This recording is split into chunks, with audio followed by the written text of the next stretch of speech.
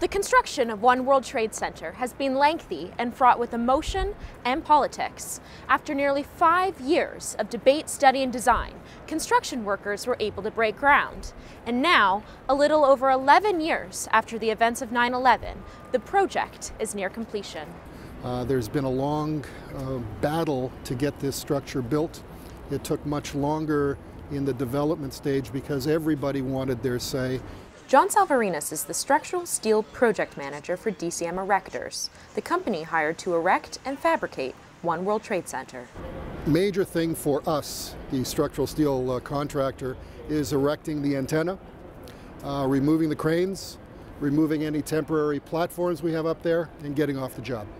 The structure was designed by world-renowned architect Daniel Libeskind to stand in place of the fallen Twin Towers. When complete, the new Tower 1 will rise to exactly the same height as the Twin Towers, at 1,368 feet.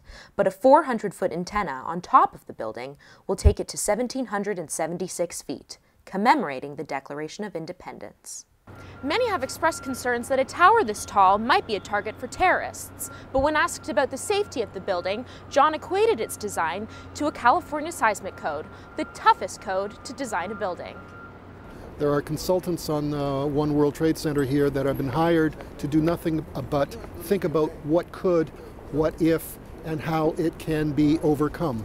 The, uh, the concrete around the base of the structure, those are basically blast walls.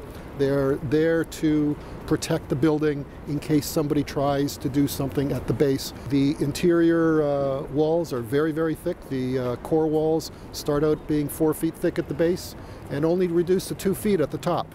Since construction began in 2006, the biggest challenge for John and his team in erecting One World Trade has been the weather. Uh, during the five years that I've been here, we've had the largest recorded snowfall in New York City. We have had an earthquake, followed a week and a half later by a hurricane.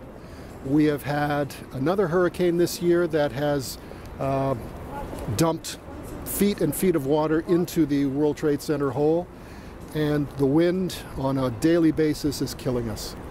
We have, we have lost so much time to wind, it's, it's unbelievable. Barring any future unforeseen weather delays, construction is set to be complete by the end of May, at which point one World Trade Center will have become the tallest skyscraper in America and the fifth tallest building in the world. It is a symbol of hope and perseverance and a monument for those whose lives will never be forgotten.